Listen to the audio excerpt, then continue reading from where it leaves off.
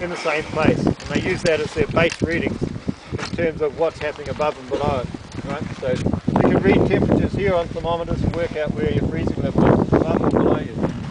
You know snow's all down about 150, 200 metres through that freezing level.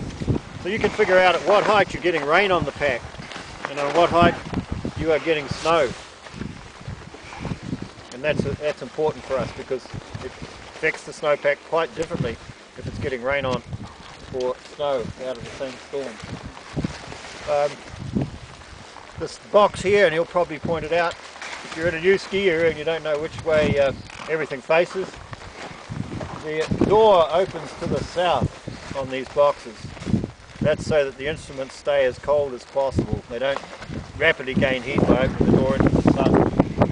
If you uh, in a modern ski area that has plenty of satellite comms and stuff like that, or every one of those satellite TV dishes faces north.